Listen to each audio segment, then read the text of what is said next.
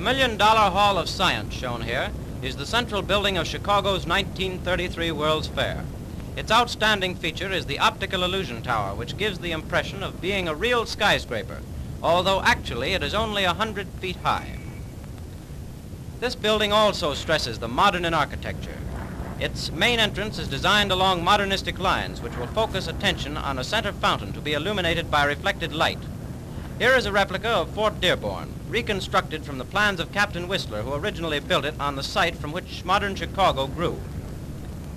This is the administration building, another modernistic marvel, where all business pertaining to the fair will be handled. And now you see the Travel and Transport Building. Its unique feature is the roof, a dome suspended by steel cables.